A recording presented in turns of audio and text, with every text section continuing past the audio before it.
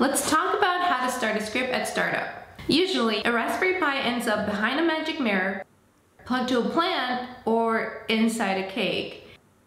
And the last thing you want to do is to find a keyboard monitor and mouse, connect to your Pi to start your script again. So let's make your script start on its own every time you plug your Raspberry Pi to power.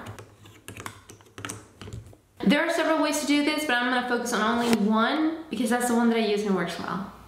Let's learn something. To start a script at startup, open the terminal on your Pi and type sudo crontab-e.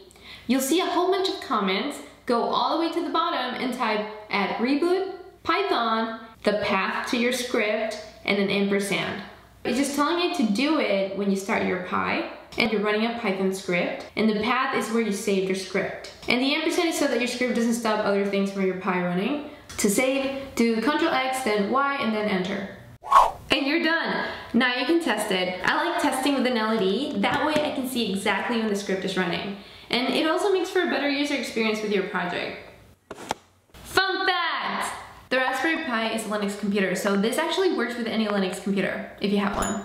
Here is a trick for the lazy.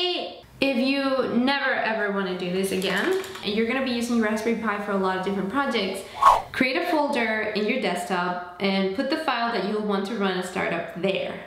Go back to your terminal and type sudo crontab-e and instead of pointing directly to the file, you can change to the folder and end it with a star.py. The star means that any file that you put in that folder will run a startup.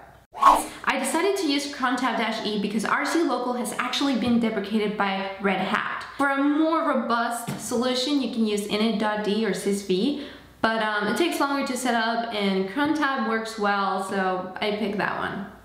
And we're done! Over to you, Teddy, with the um,